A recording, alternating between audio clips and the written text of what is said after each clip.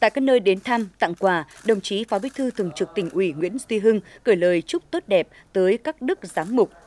các vị chức sắc và bà con giáo dân đón một mùa Giáng sinh an lành, vui tươi đầm ấm, đồng thời mong muốn các giáo sứ luôn đoàn kết chấp hành tốt chủ trương của Đảng, chính sách pháp luật của nhà nước, sống tốt đời, đẹp đạo, kính Chúa, yêu nước, chung tay cùng địa phương xây dựng nông thôn mới, thực hiện thắng lợi các nhiệm vụ mục tiêu phát triển kinh tế xã hội đề ra, góp phần xây dựng quê hương ngày càng giàu đẹp văn minh.